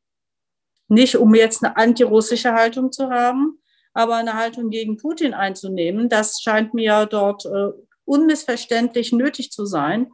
Und auch ganz klar zu sagen, dass unsere Haltung, unsere Solidarität der Ukraine gilt, den Menschen in der Ukraine, aber natürlich auch äh, der äh, Opposition in Russland. Das ist sozusagen die Position, die die Linke dort äh, einnehmen muss an der Seite der russischen Opposition, an der russischen Demokratiebewegung. Und ich will auch heute sagen, dass ich mich wirklich äh, zutiefst davor verneige, vor den Menschen, die auch in Russland äh, trotz massiver Repressionen den Mut haben zu protestieren. Und das gibt mir und vielleicht auch anderen eine gewisse Hoffnung, äh, dass sich auch in Russland dort etwas ändert. Und diese Veränderung, die ist dringend nötig. Und die wünsche ich die wünsche ich auch den Russinnen und Russen selbst, denn was Putin ja dort anrichtet, das ist ja eine Isolierung von Russland, die wir als Linke natürlich überhaupt gar nicht wollen können. Aber das ist ja das, was im Ende dort passiert, dass nämlich äh, Russland isoliert wird, dass die Menschen dort weiter leiden werden. Und deswegen kann ich tatsächlich nur hoffen, dass, äh, dass äh, eine, äh, die Ära Putin bald zu Ende geht. Aber klar, das muss natürlich eine Demokratiebewegung in Russland sein. Und deswegen ist für mich auch sehr, sehr klar, äh, wo wir als Linke dort stehen, nämlich an der Seite dieser russischen Demokratiebewegung. Sagen nochmal kurz eine moderatorische Anmerkung. Ähm, wir versuchen, Fragen zu beantworten, aber nicht alle sehen alle Fragen. Wir kriegen so viele Fragen rein, wir werden gewiss nicht alle antworten können. Ich versuche sozusagen da moderatorisch jetzt einen roten Faden einzuspinnen. Ähm, sozusagen, Jana, das war ja gerade ein wichtiger Beitrag von Karen, die nochmal auf die russische Oppositionsbewegung einging. Ähm, wie ist denn der Kontakt äh, zwischen ukrainischen Linken oder russischen Linken, die sich ja auch gegen den Krieg aussprechen, äh, einige russische Linke? Äh, weißt du etwas, wie der Kontakt von Linken in der Ukraine mit russischen Linken in Russland ist? Oder hier, es gibt ja aus beiden Ländern auch äh, Leute, die in Berlin wohnen, äh, leben, wie da der Kontakt ist, ob es da auch gemeinsame Kontakte und gemeinsame Positionen gibt. Das würde mich noch interessieren. Ähm, na, wenigstens für Berlin kann ich sagen, ja. Äh, ich habe auch in meinem Freundenkreis auch russische Linke. Ich habe äh, am Sonntag in einer Podiumdiskussion auch mit äh, einer russischen, äh, also Linken aus Russland mit diskutiert. Also klar, es gibt Kontakte zu äh, Ukraine, zu größeren äh, Zusammenarbeit. Ich, ich weiß nicht, ob es jetzt ähm, etwas, etwas existiert dazu, weil ich meine, was, was sollte das sein? Also ukrainische Linke haben was zu tun in der Ukraine, russische Linke in Russland. Ähm, ja. Eine Frage war auch noch im Chat, die fand ich sehr spannend, äh, wie auch an Jana. Ähm, du hast ja beschrieben, dass viele Linke sich jetzt freiwillig gemeldet haben zur Territorialverteidigung oder auch in anderen äh, Gruppen. Äh, der Punkt ist ja, dass Männer auch zwischen 18 und 60 nicht ausreisen dürfen. Das heißt, sie sind sozusagen verpflichtet, in der Ukraine zu bleiben, können nicht fliehen und wenn ich verstanden habe, gibt es auch die Generalmobilmachung. Das heißt, sie müssten rein durch auch, äh, könnten eingezogen werden. Gibt es noch irgendwelche linken Kreise in der Ukraine, die doch das Recht auf Kriegsdienstverweigerung äh, eigentlich äh, hochhalten? Oder gibt es dazu irgendwie Positionen, wie war vorher die Debatte äh, in der ukrainischen Linken? Gibt es da wie in der deutschen Linken eine Kriegsdienstverweigerungsdebatte äh, oder existiert das gar nicht? Gibt es pazifistische Kreise? Könntest du dazu was sagen, also wirklich Gewalt, also auch unter den jetzigen Bedingungen äh, ablehnen? Ähm, mit Waffengewalt sich zu verteidigen? Ich habe keine solche Debatten mitbekommen. Also ich glaube, auf persönlicher Ebene nicht alle haben natürlich wünschen sich jetzt direkt äh, ins Militär einzutreten und so weiter. Da kann es unterschiedliche Haltungen persönlich geben und manche Menschen fühlen sich an anderen Orten nützlich und so weiter. Äh, aber als politische Debatte, ich habe gar nichts dazu äh, jetzt mitgenommen. Und klar, natürlich, dass, dass jetzt Männer nicht ausreisen dürfen, äh, diese ganze Entwicklungen, natürlich ist das generell nicht gut, ja, nicht optimal, nicht etwas, was wir als Linke, aber auch generell uns wünschen würden.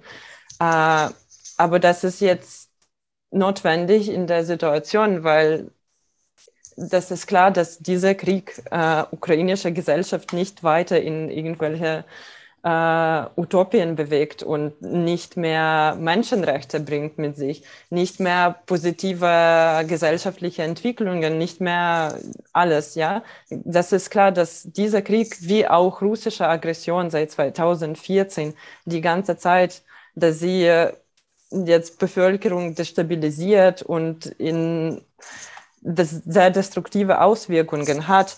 Deshalb das ja dazu, ob das zu dieser mh, hm, Wehrpflicht und so, da gibt es jetzt keine Debatten, aber das ist auch nicht die Frage der, der Zeit generell, dass jetzt die Situation und da ist die Gesellschaft jetzt auch. Ich würde vielleicht eine Frage aus dem Chat aufgreifen, die geht mir an dich, Karen. Äh, sozusagen, dass die Linke immer zu den russischen Interventionen in Tschetschenien und Syrien in weitgehend geschwiegen hat, obwohl es ja auch viele äh, Opfer äh, und mhm. Verwüstungen gegeben hat. Wir denken an die Bilder äh, von Aleppo.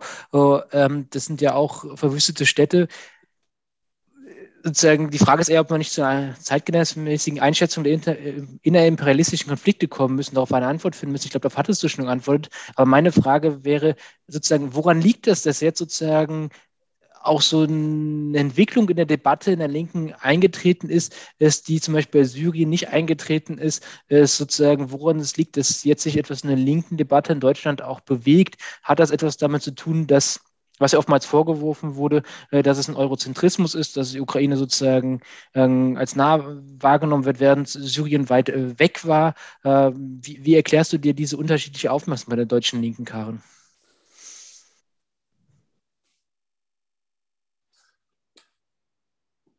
Also es hat auch zu dem Thema, was Russland in Syrien macht, unterschiedliche Positionen in der Linken gegeben. Wir haben das in der letzten äh, Legislaturperiode im Bundestag auch diskutiert dass wir äh, einige in der Fraktion, zu denen ich gehört habe, fanden, dass diejenigen, die, sage ich mal, zuständig sind oder dort die lautesten Reden gehalten haben, das zu unkritisch gesehen haben.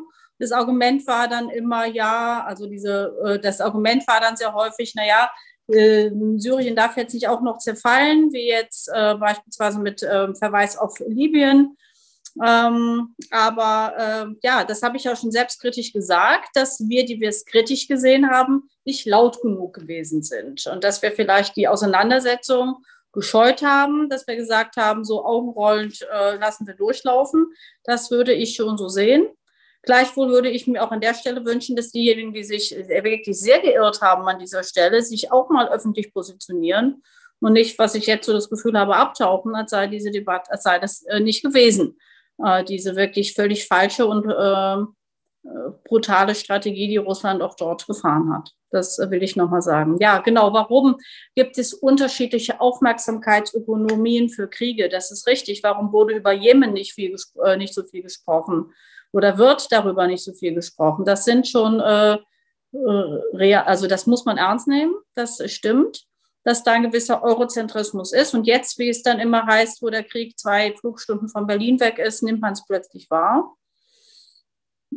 Ich will trotzdem sagen, ich glaube, mein Empfinden ist, dass es eine andere, eine Einschätzung ist, denn nicht nur ein Empfinden, dass es schon nochmal eine andere Dimension bekommen hat hier, sondern dass wir im Grunde ähm, Angst haben müssen, dass sich das Ganze ausweitet. Das ist äh, eine Gefahr von einem, das ist der internationale Frieden hier in dem äh, Fall äh, sozusagen ähm, gefährdet ist, dass es die Gefahr im Grunde von einem atomaren Auseinandersetzung gibt, von einem Dritten Weltkrieg, dass andere Länder mit einbezogen werden. Und das ist ja das, warum es dann an vielen Punkten eine Zurückhaltung gibt, nicht nur bei der Linken in Deutschland, sondern ich weiß, dass ja viele Ukrainerinnen auch die deutsche Bundesregierung noch als zu zurückhaltend empfinden. Äh, genau aus diesen Gründen der Abwägung und dass man eben nicht möchte, dass dieser Krieg sich äh, ausweitet, weil das Gefühl ist, wir sitzen auf einem Pulverfass, auf einem weltweiten Pulverfass. Insofern nehme ich das wahr, dass es da schon nochmal eine andere ähm, Dimension in dem Fall äh, bekommen hat. Genau, aber äh, daraus folgt auch, die anderen Kriege in der Welt wahrzunehmen, dort die Stimme dagegen zu erheben und auch dort ähm, sehr klar und sehr, sehr eindeutig zu sein. Das gehört, glaube ich, äh, aber nicht nur bei den Linken in dem Fall, sondern das ist ja auch eine Aufmerksamkeitsökonomie der Mainstream-Medien, die dort sehr, sehr unterschiedlich ausgeprägt ist. Ich will noch mal was sagen zu diesem Thema, das liegt mir auf dem Herzen die Tatsache, dass es natürlich auch Rechtsextreme in der Ukraine gibt. Und dass wir das sehen müssen, da sind wir, glaube ich, sehr klar und müssen wir sehr klar sein.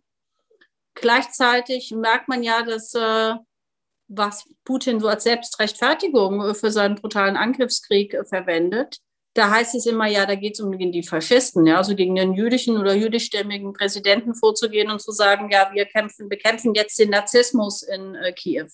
Also da gibt es auch ein Narrativ, äh, was wir kritisch hinterfragen müssen und was vielleicht auch zu wenig kritisch hinterfragt wurde in der Vergangenheit, dass die ukrainische Politik als faschistische Politik, ich sage jetzt mal platt, äh, gegeißelt wird.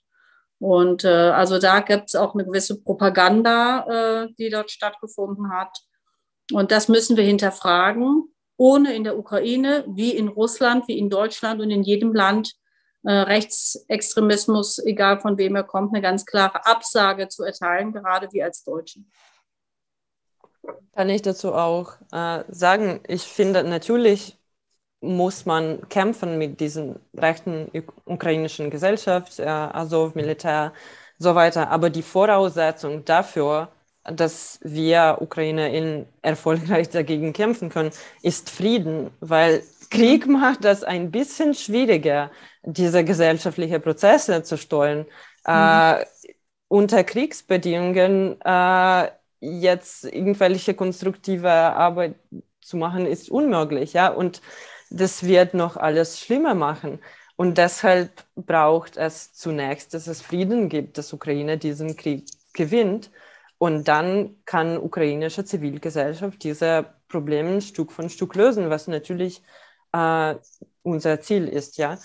Äh, und das ist auch wichtig, ich möchte Punkt machen für die deutsche Gesellschaft, äh, ich sehe auch diese äh, Milliarden für deutsches Bundeswehr, das bringt der Ukraine eigentlich gar nichts. Äh, deshalb, ähm, ja, aber wir müssen auch verstehen, dass wenn die Ukraine verliert und Putin gewinnt, äh, dann wird es nur weitergehen, diese Militarisierung von auch europäischen Gesellschaften. Es wird für Jahrzehnte eine Gefahr bleiben, Russland, die schon klar gemacht hat, dass sie Interesse haben, auch andere Staaten anzugreifen. Dieses Problem wird einfach bestehen bleiben. Die äh, Bundeswehr, alle anderen Staaten, die werden nur noch weiter aufgerüstet. Äh, und es wird schwierig, dagegen etwas zu machen. Wenn wir diese Gefahr, das hat schon in diese Richtung ukrainische Gesellschaft destabilisiert, ja, wenn Russland weiter unter Putin existiert und diese Politik treibt, wenn die Ukraine jetzt fällt, das wird für Jahrzehnte Problem für die europäische Gesellschaft dann auch. Die Militarisierung, die Stärken von diesen allen Tendenzen, die wir als Linke nicht gut finden. Deshalb ist es wichtig, jetzt die Ukraine zu, zu unterstützen, entschlossen, damit es nicht dazu kommt, also das finde ich auch, das muss man auch noch natürlich noch mal sagen, dass natürlich ähm, was auch in der Debatte eine Rolle spielen muss. Und wir haben es heute noch nicht angesprochen, deswegen will ich es tun, dass es natürlich auch da Kooperationen gibt äh, und eine ideologische Nähe zwischen äh, deutschen Rechtsextremen und äh, Putin. Das ist ja auch ein Thema, was jetzt die AfD sozusagen anbelangt. Und da ist ja die ideologische, da gibt es ja gemeinsame ideologische Aufwartungen ob das der Kampf gegen Minderheiten ist, ob das so ein nationalistisches Großmachtstreben ist, ob das ein herablassender Blick auf ähm, kleinere oder ich sag mal weniger einflussreiche Länder äh, anbelangt, ähm, was die äh, im Grunde prokapitalistische Politik anbelangt, im Interesse der Eliten, was das Schüren von Hass gegen Minderheiten anbelangt. Also da gibt es ja sehr viele Gemeinsamkeiten. Das muss man natürlich auch ein Stück weit mal kritisch sehen. Und äh, auch das gehört jetzt alles, äh, gehört, glaube ich, in jedem Fall nochmal auf äh, die Agenda äh, der Debatte. Genau. Ich muss sagen, es ist ziemlich schwierig zu moderieren, wenn gleichzeitig dieser Chat äh, läuft. Äh, ich wünsche mir bald wieder Präsenzveranstaltungen, dann sieht man genau, ja. was im Saal läuft. Das ist sehr viel einfacher. Ich wollte eigentlich eine Frage nochmal anschließen an Jana sozusagen, wie wurde der Syrienkrieg äh, äh, eigentlich von ukrainischen Linken wahrgenommen? Gab es dazu eine Position, wurde das wahrgenommen? Um, ähm, und ich weiß, es war Taras, der geschrieben hatte, äh, dass jetzt man nicht die Solidarität mit ukrainischen Flüchtlingen sowas kritisieren sollte, sondern ich sagen sollte, das ist doch die, sozusagen Beispiel, wie man mit allen Flüchtlingen äh, umgehen sollte. Glaubst du, das könnte so einen positiven Effekt haben? Also zu Positionen von ukrainischen äh, Linken zu Syrien kann ich jetzt nicht sagen. Äh, bin nicht so gut informiert an der Stelle. Ähm, äh, zu ukrainischen Flüchtlingen, äh, ja, bestimmt. Also, aber ich finde, wir müssen, ich lese viele Beiträge von äh, antirassistischen Aktivistinnen, die manchmal von Ton hm, ich ein bisschen problematisch finde, weil es gibt diese ganze Diskussion ukrainische Flüchtlinge, Flüchtlinge erster Klasse und so. Und ich habe das Gefühl, da wird manchmal irgendwie so auf, gegeneinander aufgespielt. Äh, ich finde, dass natürlich müssen alle Flüchtlinge, egal woher sie kommen, so gut äh, hier empfunden äh, werden, als es überhaupt geht. Aber ich finde das auch ein bisschen, äh, das ist nicht Schuld der ukrainischen Flüchtlinge, dass die anderen Flüchtlinge vor denen schlimm behandelt werden und wurden.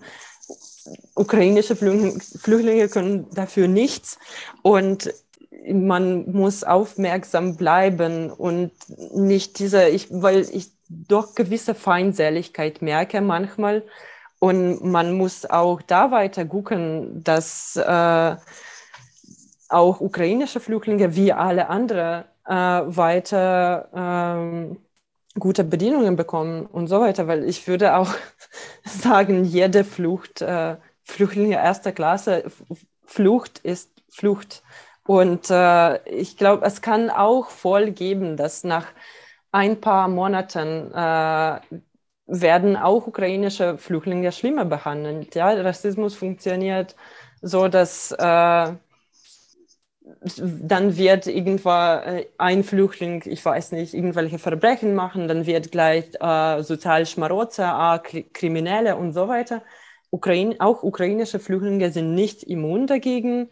Äh, und ich kann mir schon vorstellen, dass nach einiger Zeit, vor allem wenn es noch mehr gibt und sie weiter in Deutschland bleiben, wird auch sehr viel äh, Hass kommen gegen ukrainische Flüchtlinge. Und da muss man äh, solidarische antirassistische Politik machen für alle, die fliehen und Rassismus betroffen werden.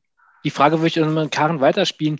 Äh, wir hatten ja schon 2015 äh, sozusagen anfangs eine große Solidarität mit den äh, Flüchtlingen, die in Deutschland ankamen. Viele Hilfe, selbst die Bild hatte ja damals geholfen. Das Klima hat sich ja ziemlich schnell dann wieder gewendet in eine klassische abschottende Position ich glaube, Jana spricht da ja einen wichtigen Punkt an, dass das sozusagen wir jetzt den ersten Monat noch haben und wir wissen gar nicht, mhm. wie lange es geht. Wir hoffen ja, dass es schnell endet. Aber was müsste jetzt die Bundesregierung auch machen, äh, zum Beispiel in deinem Fachbereich, Wohnungspolitik, äh, sozusagen äh, für, für Abhilfe zu sorgen, weil es ja auch die klassische Debatte teilweise gibt es dann sozusagen irgendwie die Flüchtlinge Menschen was wegnehmen würden. Wir haben ja angespannte Mietmärkte, zum Beispiel in Berlin. Welche Sozialprogramme müsste jetzt aufgelegt werden, um dem auch vorzubeugen, um eben diese jetzt gerade sehr große Solidarität weiter zu erhalten und den Menschen weiter zu helfen und die Akzeptanz für diese Hilfe für Menschen auf der Flucht zu steigern? Also erstmal volle Unterstützung dafür, dass es nicht Geflüchtete erster und zweiter Klasse geben darf. Und das sehen wir aber natürlich, dass es jetzt äh, stattfindet. Im Chat hat da vorhin nochmal zu Recht die Situation an der polnisch-belarussischen äh, Grenze eine Rolle gespielt. Wir wissen, dass auch äh, über andere Fluchtwege Menschen weiterhin im Mittelmeer ertrinken oder äh, abgefangen werden, auch von deutschen Sicherheitsbehörden, äh, wenn sie sozusagen nicht aus der Ukraine kommen. Und das müssen, da müssen wir dann auch äh, sagen, auch die Menschen dürfen kommen. Das finde ich sehr klar. Wir wollen, dass äh, es dort keinen Rassismus gibt, weil wir schon erlebt haben, dass ähm, ähm schwarze Ukrainerinnen oder Menschen, äh, People of Color, die sich in der Ukraine aufgehalten haben, weil sie da zum Beispiel studieren, dass die dann Racial Profiling sozusagen äh, unterworfen waren. Äh, das äh, geht natürlich überhaupt nicht. Also da brauchen wir ein ganz klares Nein. Und trotzdem, da hat Jana völlig recht, jetzt darf man jetzt nicht den Menschen ähm, vorwerfen, die sich äh, auch unter widrigsten Bedingungen äh, ist irgendwie äh, sich jetzt hier nach Deutschland gerettet haben. Also da müssen wir, glaube ich, äh, äh, sehr, sehr klar sein und äh, dürfen nicht zulassen, dass wieder diese Stimmung irgendwann kippt, äh, wie damals in der Silvesternacht. Äh, und ich glaube nämlich auch, dass äh, das jetzt auch nur vielleicht der erste Eindruck ist. Es gibt auch in Deutschland Feindseligkeiten gegenüber Ukrainerinnen. Es gibt Klischees über ukrainische Frauen. Und da hat ja, also so, das äh, ist ein Thema, wo wir noch viel Antidiskriminierungsarbeit leisten werden müssen in den nächsten Jahren. Genau, was tun? Also in jedem Fall Flüchtlinge aufnehmen, willkommen, Geflüchtete aufnehmen, willkommen heißen. ähm, es auch vom Bund besser unterstützen und koordinieren. Ich glaube, dass Berlin dort äh, äh, mit die Hauptlast äh, trägt und äh, unsere Unterstützung bedarf. Da gibt es ja immer so ein blödes Berlin-Bashing, auch weil es eine von Linken mitgetragene Regierung äh, ist. Klar, das wird ja immer auch da instrumentell verwendet. Also eher Anerkennung dafür, was geleistet wird. Äh, aber aus meiner Sicht vor allen Dingen eine schnelle Integration von allen, auch im bestehenden Wohnraum. Und ich weiß, dass die Situation in den Städten schwierig ist, aber ich kann zum Beispiel aus meinem Wahlkreis berichten, Hoyerswerda, da stehen tausende Wohnungen leer.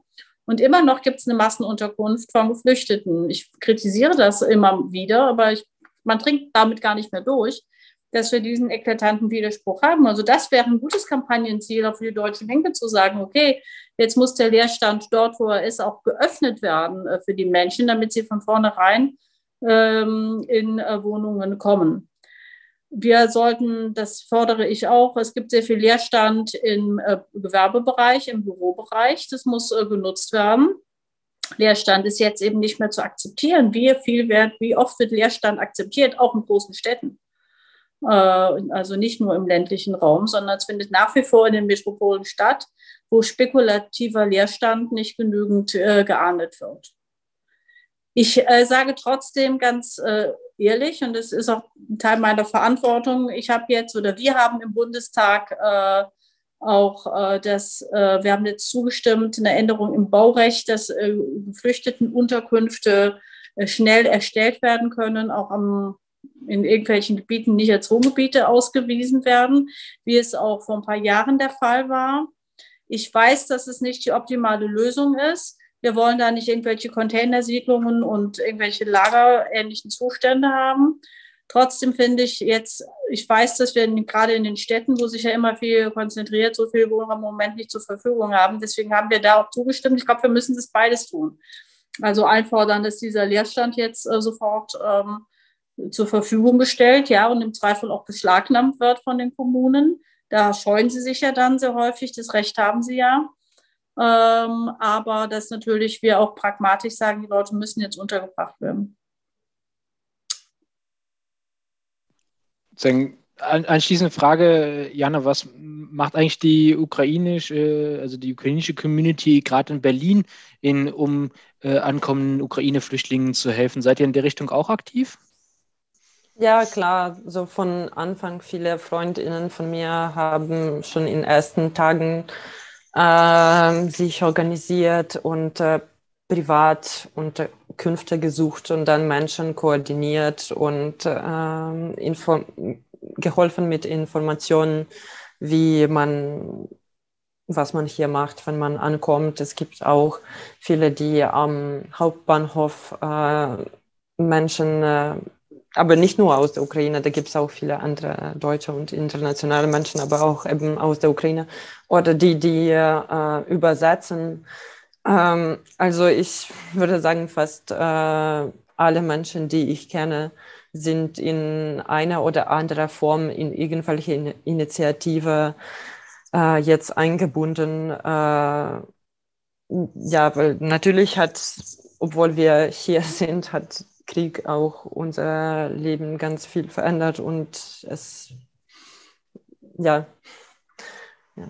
Also ich darf auch noch mal, darf ich noch, weil wir sind ja gleich gegen, äh, müssen ja das gleich einbinden. Ich will eine Sache noch loswerden. Das spielt auch in meinem Text eine Rolle und das ist auch wieder so ein heißes Eisen. Aber ich finde ja, dass wir jetzt in einer Situation sind, wo wir über diese heißen Eisen auch sprechen müssen, solidarisch. Und wir fordern ja in unserem Erfurter Programm die neue Friedensordnung unter der Beteiligung von Russland. Und ich will noch mal sagen, dass diese Forderung, die ja aus der, nach dem Ende des Kalten Krieges sehr breit getragen wurde, die in Deutschland von SPD und von Grünen mitgetragen wurde, die von Mitterrand getragen wurde, die von vielen Friedensforscherinnen mitgetragen wurde, also äh, weil das ja gerne so ein bisschen in das Reich der total absurd dargestellt wird in den Mainstream-Medien. Also das war ja mal eine andere Forderung. Und ich glaube, im Nachhinein sieht man auch, dass es richtig gewesen wäre, wenn wir da hingekommen wären. Ich glaube, zur Wahrheit gehört jetzt, dass es jetzt in sehr, sehr weite Ferne gerückt ist. Und ich sehe diesen Annäherungsprozess mit Putin, also unter Putin, ehrlich gesagt, für unmöglich an. Was tun wir jetzt? Und das ist gleich die zukünftige Debatte, die wir führen müssen. Ich finde nicht, dass wir dieses Ziel aufgeben müssen. Aber genauso wie ich jetzt als Wohnungspolitikerin sage, ich sage, die Leute brauchen sofort eine Unterkunft und okay, dann muss es im Zweifel auch so ein Container-Dings sein und gleichzeitig den Leerstand beschlagnahmen und ein Wohnungsbauprogramm, um 250.000 Sozialwohnungen im Jahr zu bauen. Also ich versuche als Wohnungspolitikerin die ganze Palette zu bedienen von dem, was sofort passieren muss, trotzdem ein langfristiges Ziel nicht aus den Augen zu verlieren, nämlich zum Beispiel einen Wohnungsmarkt zu haben wie in der Stadt Wien. Das wünsche ich mir jetzt als Wohnungspolitikerin von unseren Außenpolitikern, dass wir dieses Ziel nicht aus den Augen verlieren mit der neuen Friedensordnung. Und trotzdem brauchen wir eine Antwort, was wir jetzt sofort machen, wo diese Friedensordnung ja im Moment nicht vom Himmel fallen wird. Und wir so wenig Zustimmung zu dieser Forderung haben wie lange nicht mehr. Das war ja auch im Wahlkampf, das habe ich gesagt, schon eine Forderung, wo das viele, die jetzt nicht die ganze Geschichte kennen, und äh, so tief drin sind in den Debatten, das nicht äh, verstanden haben und gedacht haben, was soll das jetzt? Und äh, auch diese Debatte, die müssen wir führen. Und da würde ich mir jetzt wünschen von unseren Außenpolitikerinnen und Außenpolitikern, dass es äh, untersetzt wird. Und ich glaube, so eine Antwort müssen wir als linke Partei schon geben, wie wir von A nach B kommen. Ohne uns im Klein-Klein der Realpolitik total zu verrennen, und ohne langfristige Ziele aus den Augen zu verlieren. Aber dazwischen muss es ja eine Transformationsphase geben. Und da ist äh, mit Verlaub mein Eindruck, dass wir das noch nicht äh, skizziert haben. Ähm, und das ist, glaube ich, die Aufgabe in den nächsten Monaten auch für die Linke. Jetzt hast du mir meine Abschlussfrage schon eigentlich ja. vorweggenommen. Äh, ich wollte fragen, was sozusagen deine Wünsche sind sozusagen für den Juni-Parteitag der Linken, der ja vermutlich äh, sehr stark unter dem äh, einem Stern der Außenpolitik stehen wird, außenpolitische Diskussionen werden. Ähm, ich glaube, die Antwort hast du mir schon vorweggenommen. Ähm, oder wolltest du dazu noch was anschließen? Also ich glaube, dass wir ganz klar diesen Konflikt bewerten müssen, dass äh, vieles falsch gelaufen ist in der Vergangenheit, aber nichts diesen brutalen Angriff von Putin rechtfertigen, dass er Hauptaggressor in diesem Konflikt ist. Da muss die Linke, glaube ich, sehr klar sein. Ähm, das wäre mir wichtig. Mir wäre es schon noch wichtig, dass wir auch äh, sagen, dass wir uns geirrt haben und äh, dass das aufgearbeitet werden muss. Und dann ist mir wichtig, dass wir uns zu ein paar Grundsätzen verständigen, von denen ich ja einige, ich kann noch mal auf mein Papier verweisen, vorgeschlagen habe, dass wir nicht mit zweierlei Maß messen, dass wir ohne Wenn und Aber zum Völkerrecht stehen, zum Menschenrecht, äh, dass wir ähm, äh, für Demokratisierung sind, dass wir an der Seite der Ukrainerinnen und Ukrainer stehen, dass wir die russische Opposition unterstützen. Vieles andere mehr habe ich da äh, formuliert. Das habe ich ja auch zwischendurch immer wieder gesagt. Man kann es nachlesen. Genau. Und ich würde mir tatsächlich wünschen, dass wir solidarisch und offen diskutieren können und dass wir diese, wie ich wirklich finde, fürchterliche Diskussionskultur, die wir bei diesem Thema hatten in der Vergangenheit, äh, dass wir da uns weiterentwickeln, auch als Linke und äh, in der Lage sind, da zu diskutieren, auch Fragen aufzuwerfen. Es weiß ich nicht, ob wir diese Antworten jetzt alle beim nächsten Parteitag äh, schon lösen können. Da muss jetzt, glaube ich, auch mehr investiert werden an Zeit und auch an Know-how. Das, was in den letzten Jahren nicht stattgefunden hat, weil viele außenpolitische Debatten in der Vergangenheit waren ja, ja, Erfurter Programm, da steht ja jetzt alles. Und ja, damit ist ja alles gesagt.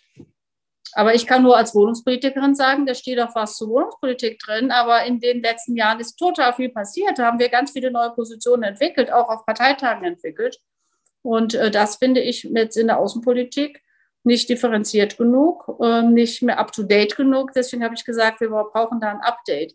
Und ich glaube, eine Frage ist schon so, ich wünsche mir ein Update, ohne friedenspolitische Grundsätze äh, über Bord werfen zu müssen. Und ich halte das auch für denkbar und für möglich. Und äh, ich würde mir wünschen, dass jetzt nicht äh, gleich gesagt wird, naja, die Debatte müssen wir gar nicht führen. Wir haben uns ja, wir haben ja schon immer alles gesagt.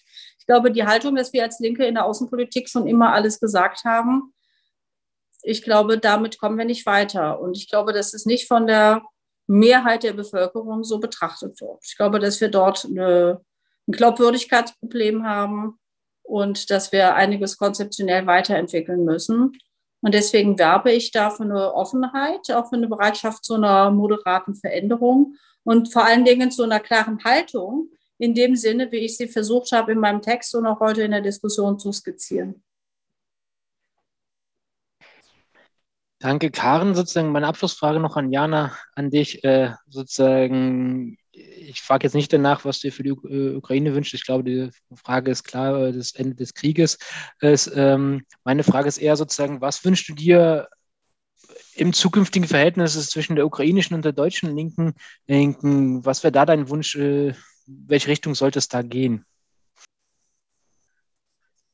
Hm, gute Frage. Ähm, äh, ja, ich glaube, uns nicht das Leben schwieriger zu machen äh, mit merkwürdigen Positionen, äh, was die linke Bewegung als Ganze diskreditieren. Und dann werden wir äh, in der Ukraine nicht nur von den Rechten angegriffen, sondern von Zivilbevölkerung und von allem als Linke, weil Linke heißt pro-russisch und äh, die Abgeordneten von der Linken sind doch in Krim gefahren und ihr seid auch Linken, also ihr unterstützt das Ganze auch. Und wir haben auf allen Ebenen so viele Probleme deswegen, was manche deutsche Linke tun, dass das wäre schon gut, einfach damit aufzuhören, äh, die Linken als Ganze zu diskreditieren mit äh, pro-russischen Positionen. Äh, generell mehr zu hören äh, und äh, nicht arrogant zu sein. Ich, weil diese ganze äh, pro, pro NATO, NATO-Osterweiterung, bla, nicht Ukraine, wie gesagt, Agency abzusprechen, äh, nicht äh, Narrative von russischen Propaganda zu übernehmen, äh, sich zu interessieren über Entwicklungen in der Ukraine und in Russland und nicht nur über Westen und ständig über NATO zu sprechen und äh, selbstreferenziell in diesem Narzissmus zu bleiben, dass ja, es geht die ganze Zeit um uns und NATO. Nein, es gibt viele Entwicklungen in der Ukraine, äh, in Russland, äh, die, dafür soll man sich interessieren und auch ukrainischen Linken zuhören und russischen Linken auch. Uh, und ja, ich glaube, Linke, das wäre sehr schön, äh, wenn Linke aus dieser äh, sehr problematischen Haltung und problematischer Partei äh, sich irgendwie neu überlegt und neu erfindet und äh, versteht, dass das ist linke Sache, Kampf gegen Imperialismus, Kampf gegen Russland, die jetzt friedliche, friedliches Land, friedliche Bevölkerung angreift, Kriegsverbrechen begeht jeden Tag.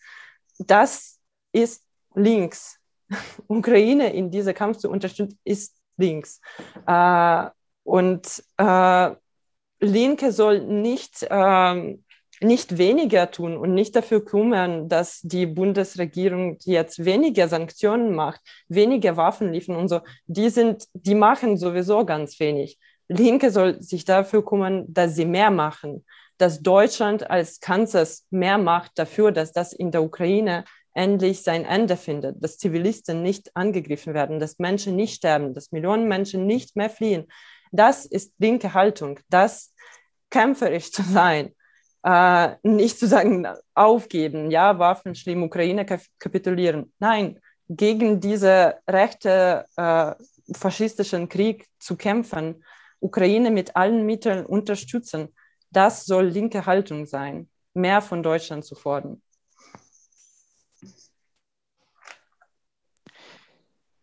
Danke, Jana. Danke, Karen. Ich würde jetzt sozusagen sagen, wir sind schon fünf Minuten über die äh, Zeit äh, hinaus. Ich bitte auch um Entschuldigung dafür, dass die an mich gestellten Fragen nicht beantwortet wurden. Ich war heute nur der Moderator. Ich, sonst spreche ich gerne selber und beantworte dann auch Fragen.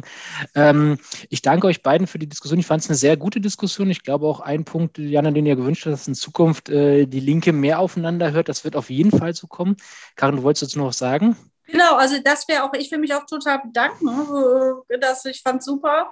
Und äh, ich fände gut, dass wir die Debatte fortsetzen. Also vielleicht auch gar nicht gerne mit mir, aber vielleicht auch, ich sag mal, mit den Zuständigen. Und äh, das äh, würde ich mich in jedem Fall für einsetzen, dass wir als linke Partei, als linke Fraktion, als Linke in der Gesellschaft äh, jetzt die Diskussion genauso ehrlich und so konkret und so offen auch mit ukrainischen Linken führen, wie wir es heute gemacht haben. Für mich ist es wirklich ein Anfang gewesen. Ich habe viel gelernt und äh, bin gerne mit dabei und würde mich sehr freuen, Jana, wenn wir uns äh, auch irgendwann persönlich kennenlernen und viele andere ukrainische Linke auch. Also für mich war es jetzt ein Auftakt. Äh, vielen Dank. Da kann ich das jetzt einhaken als Rosa-Luxemburg-Stiftung. Das werden wir natürlich ermöglichen, sozusagen noch viele weitere äh, Debatten zwischen äh, Linken aus der Ukraine. Gerne auch mit dir wieder, äh, Karen. Ähm, und natürlich mit allen Zuschauerinnen, die heute dabei waren. Ich weiß, es ist schon relativ spät, aber es war heute ein Marathon, äh, glaube ich, der Rosa-Luxemburg-Stiftung. Ich glaube, es waren fünf oder sechs Veranstaltungen, die wir insgesamt zu dem Thema heute hatten.